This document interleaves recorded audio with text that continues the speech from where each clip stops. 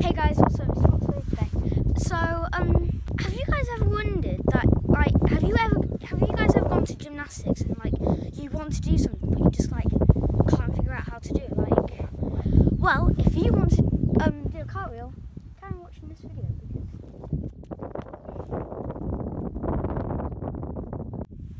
So basically, you just want to start off like as like as if for a starfish, and then as you're turning hip, you need to like make sure that this hand touches the ground and that your like your foot and then your foot in the air is quite stable.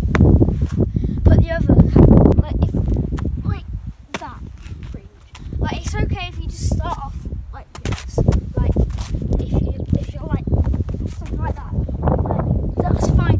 Everyone always starts off something like that. And make sure that you're doing this on a soft um, um surface because I've been doing cartwheels for a very long time now, and I can pretty much do them anywhere. So yeah, you need to like lean against the wall like that. Because if you can do a handstand, this is probably going to be